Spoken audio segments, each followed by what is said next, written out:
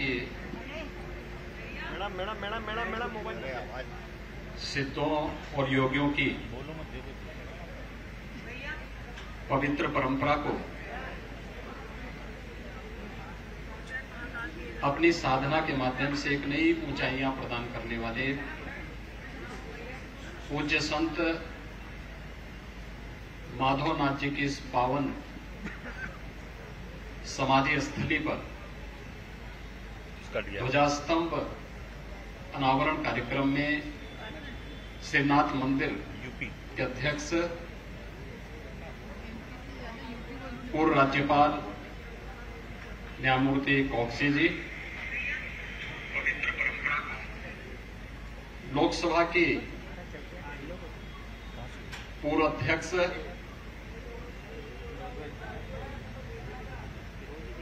और इंदौर की पूर्व लोकप्रिय सांसद आदरणीय ताई श्रीमती सुमित्रा महाजन जी, श्रीनाथ मंदिर के सचिव श्री संजय नाम जोशी जी, सदस्य श्री विनाश श्री पुरकर जी, लोकप्रिय सांसद माननीय श्री शंकर ललवानी जी, महापौर श्री पुष्य मित्र भार्गव जी श्रीनाथ मंदिर से जुड़े हुए सभी प्रबंध समिति के पदाधिकारी और सदस्यगण, उपस्थित भाइयों बहनों लोक माता देवी अहिल्या की इस पावन धरा को नमन करते हुए, मैं पूज्य संत माधवनाथ जी महाराज की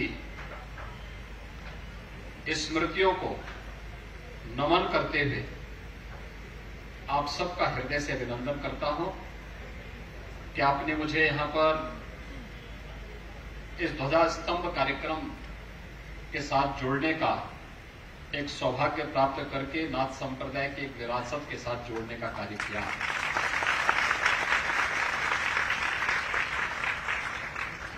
भाइयों बहनों यही सनातन धर्म है। कृते च प्रति कर्तव्यम ऐसा धर्म सनातन अगर किसी ने आपके प्रति कुछ भी किया है तो उसके प्रति कृतज्ञता का भाव व्यक्त करना और कृतज्ञता का भाव व्यक्त करने का इससे अच्छा अवसर और क्या हो सकता है? कि पूज्य संत संतों के लिए जन्म और मरण, यानी हर मौत उसके लिए एक नया जन्म होता है।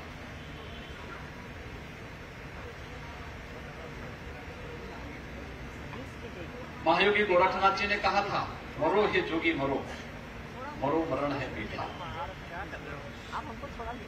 यानी उनके लिए जन्म और मृत्यु बहुत मायने नहीं रखती।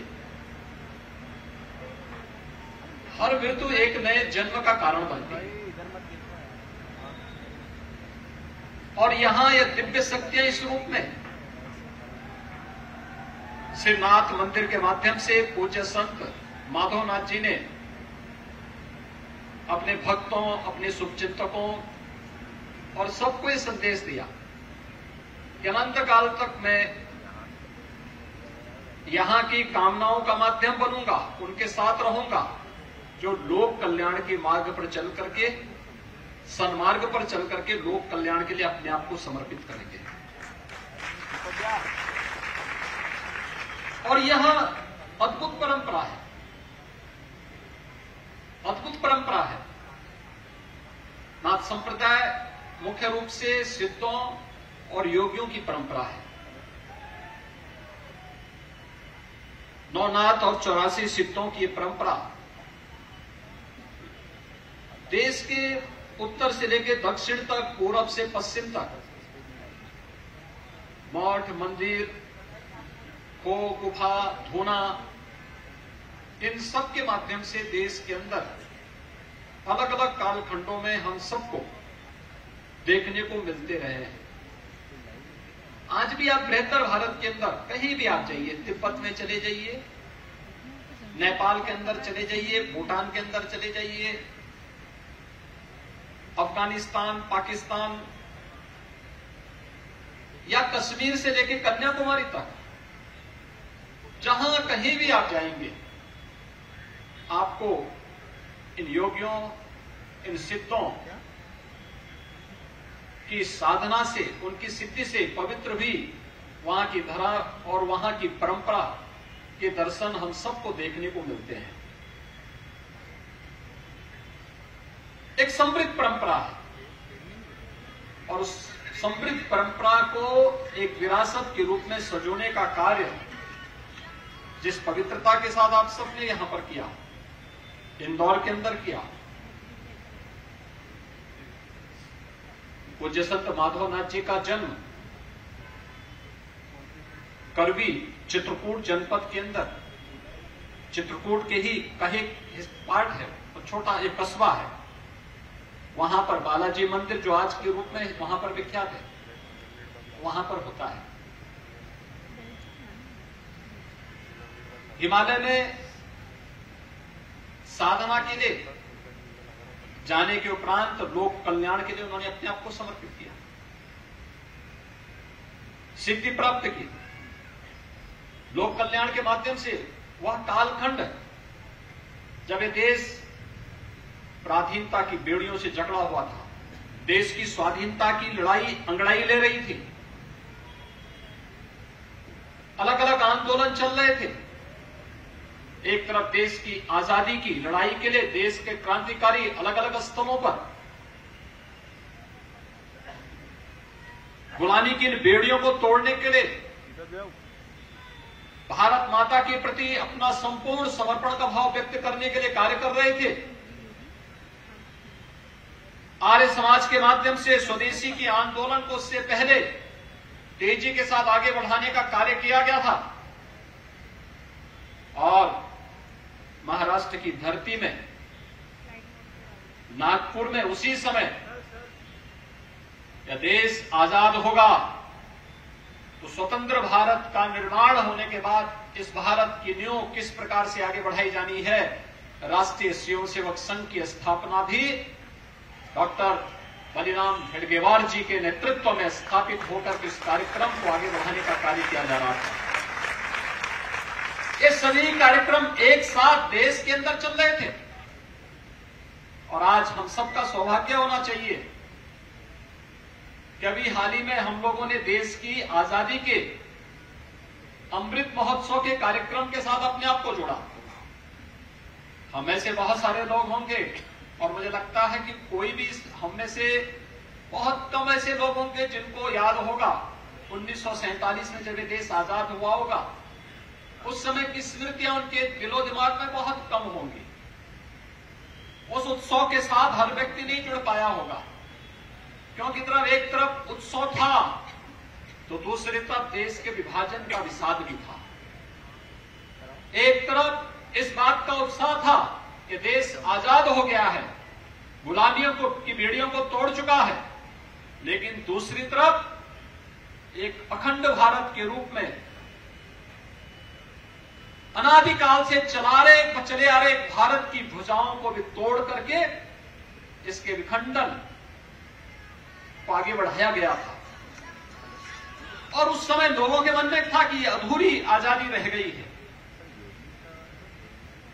लेकिन जब आज़ादी के अमृत महोत्सव के कार्यक्रम के साथ हम सबको जुड़ने का अवसर प्राप्त हुआ, पहली बार हुआ कि हर भारतवासी भारत की आज़ादी के अमृत महोत्सव के साथ जुड़ा था। हर घर तिरंगा ने हर भारतीय को आज़ादी के अमृत महोत्सव के साथ जोड़ने का काम किया। हर घर तिरंगा का कार्यक्रम प्रधानमंत्री मोदी जी के आह्वान पर देश ने अपनाया। और देखते ही देखते कार्यक्रम किस रूप में आगे बढ़ा। आज़ादी का अमृत महोत्सव। और भाइयों बहनों आज़ादी के अमृत महोत्सव में भारत ने कई उपलब्धियाँ हासिल की। एक उपलब्धि थी, भारत दुनिया की पांचवी बड़ी अर्थव्यवस्था बना। और पांचवी अर्थव्यवस्था किसको पीछे करके भारत ने, जिस ब्रिटेन ने लगभग 200 वर्षों तक भारत पर शासन किया था, उस ब्रिटेन को पछाड़ करके भारत दुनिया की पांचवी बड़ी अर्थव्यवस्था और आज़ादी के अमृत महोत्सव में भारत के साथ एक और उपलब्धि जुड़ती है। कि भारत जी ट्वेंटी के देशों का, के समूह का नेतृत्व भी किया है। अभी 9 और 10 सितंबर को दिल्ली में जी ट्वेंटी के सफलतम आयोजन को आप सबने देखा है, पूरे देश ने देखा है। एक नए भारत का दर्शन भारत ने किया है। बहुत सारी चीज़ें जी ट्वेंटी के समिट ने हम सबको दी है। एक, ब्रिटेन के माननीय प्रधानमंत्री भी भारत में आए थे। उनकी तीन पीढ़ियाँ भारत भारत से तीन पीढ़ी पहले वे जा चुके थे भारत से अफ्रीका गए, अफ्रीका से फिर यूके में आए। विरासत के प्रति सम्मान और श्रद्धा का भाव क्या होता है? आज भी ब्रिटेन के प्रधानमंत्री कहते हैं, मुझे गर्व है, मैं हिंदू हूँ। यही सनातन के संस्कार है। उन्हें मंदिर जाने में संकोच नहीं। उन्हें गौ माता का की पूजा करने में संकोच नहीं। उन्हें संतों के सानिध्य में बैठने में संकोच नहीं। उन्हें जय श्री राम और जय सिया राम कहने में कोई संकोच नहीं। क्योंकि उन्होंने संघर्ष किया है। क्योंकि वह विरासत संस्कारों के साथ जुड़ी हुई है। क्योंकि वह विरासत अपने मूल्य और अपने आदर्शों से चल करके अपने जड़ों से जुड़ी रही है। और जड़ों से वही जुड़ाव जो सनातन धर्म की मूल्यों ने उन्हें दिया है। और जिस थीम को लेकर के जी ट्वेंटी चला था वसुधैव कुटुंबकम का। उसी भाव के साथ आज जब ऋषि सुनक इंग्लैंड का नेतृत्व करते हैं तो स्वाभाविक रूप से उनके मुँह से निकल पड़ता है कि हाँ, मुझे हिंदू होने में गौरव की अनुभूति होती है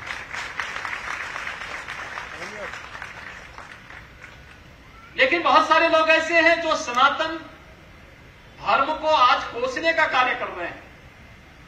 वे भारत के अंदर रहते हैं। वे भारत के अंदर रह करके भारत के मूल्यों पर, भारत के आदर्शों पर भारत के सिद्धांतों पर प्रहार करने में जब भी उन्हें मौका मिलता है, कोई अवसर चूकते नहीं है।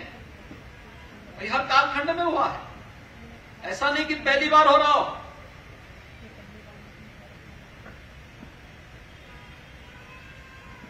ईश्वर की वास्तविकता पर अविश्वास करना यह पहली बार नहीं हुआ है। और बहुत बार लोगों को गफलत में गफलत गलत फहमी के शिकार हो जाते हैं।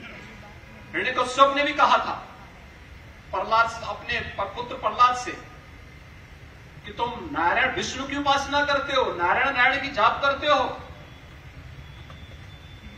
उनकी उपासना करना बंद कर दो। प्रार्थना करनी है तो मेरी प्रार्थना करो। और इसके बाद उन्होंने अपने स्वयं के पुत्र के खिलाफ साजिश रची परिणाम सबके सामने। प्रहलाद का नाम आज भी हर भारतवासी बहुत बड़ी श्रद्धा के साथ लेते हैं। होली का पर्व ही उनके साथ जुड़ गया भारत का।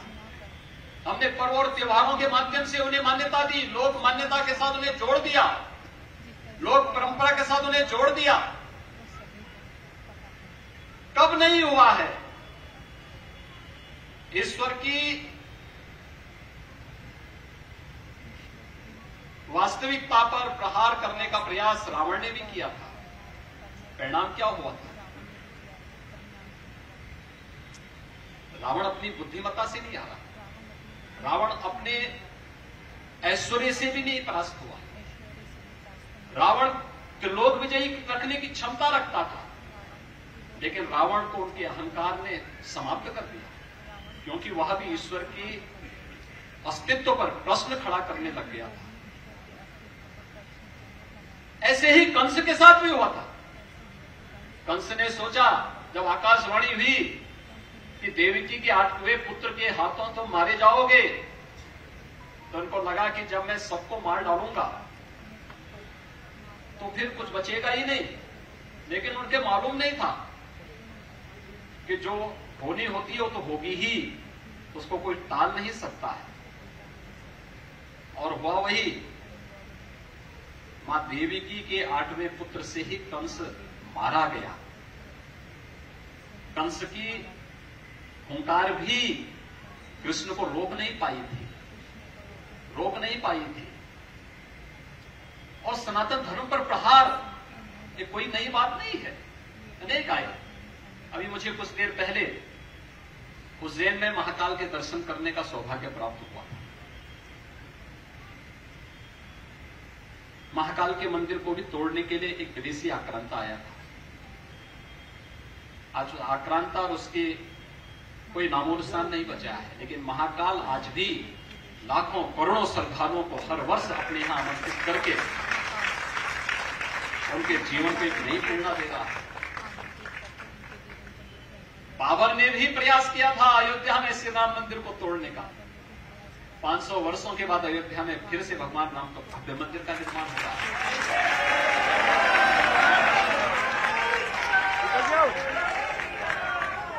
औरंगज़ेब ने भी प्रयास किया था, काशी में बाबा विश्वनाथ के मंदिर को तोड़ करके।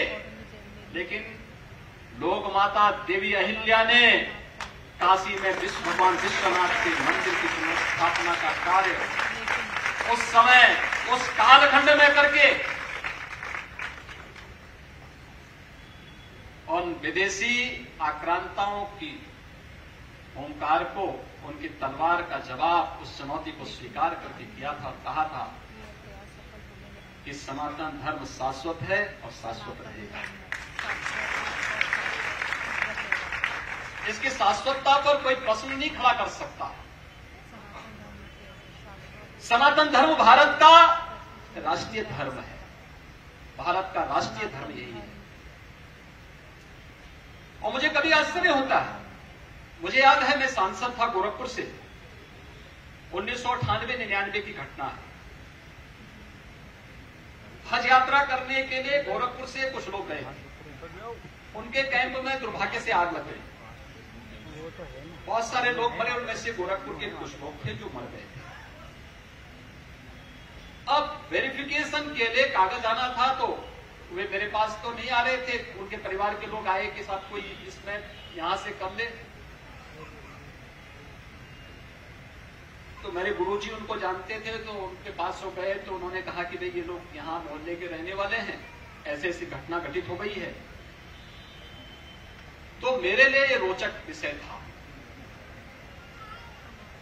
कि भाई कैसे हम इसको देखें। मैंने उनको बुलाया, बिठाया। मैंने कहा बाओ कैंप में आग लग गई तो बाहर भाग क्यों नहीं गए? मैंने पहले प्रश्न ये कहा उनसे, क्या प्रश्न किया। उन्होंने कहा, साहब पे तो हमारे साथ जो व्यवहार हो रहा था, बड़ी वैसे पैसा व्यवहार हो रहा था, कोई निकलने नहीं देते। मैंने कहा, क्यों नहीं निकलने देते?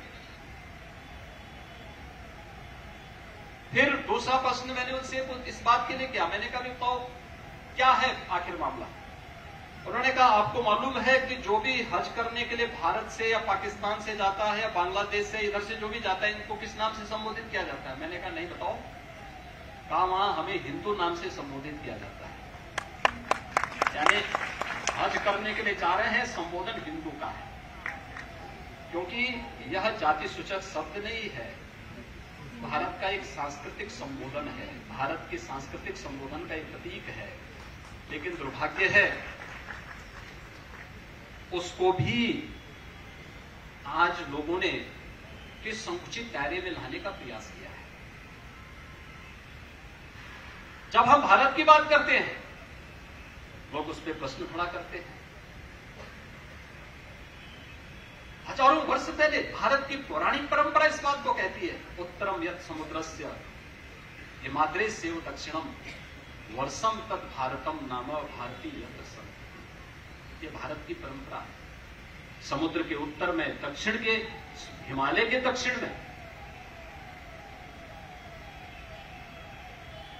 जो देश है वो भारतवर्ष है और उसके जो नागरिक हैं, वे भारतीय कहलाते हैं।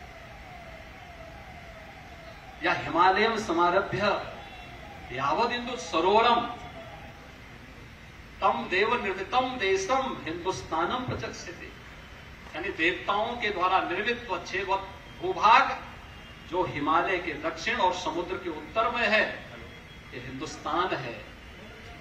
वहाँ के नागरिक हिंदू कहलाते हैं।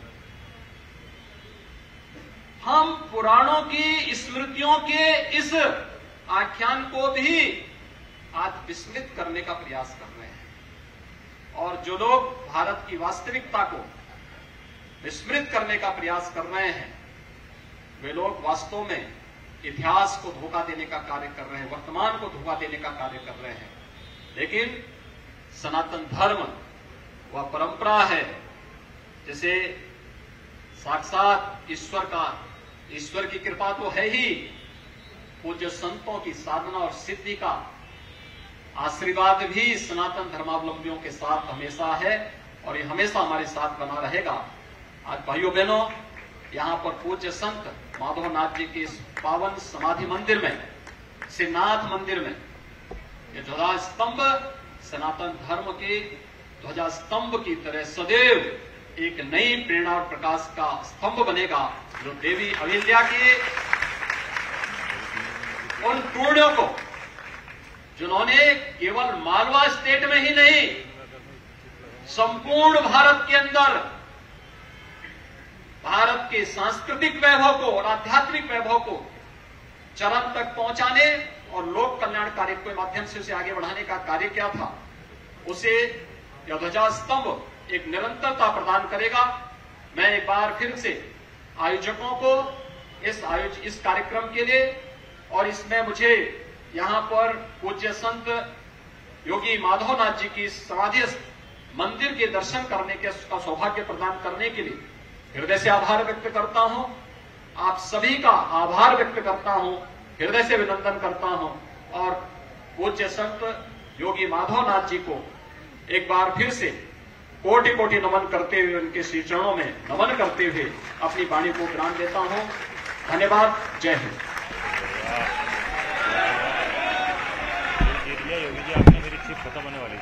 आदरणीय योगी जी ने अपने ओजस्वी प्रवाह प्रवाह! में कहा, मैं नाग मंदिर संस्था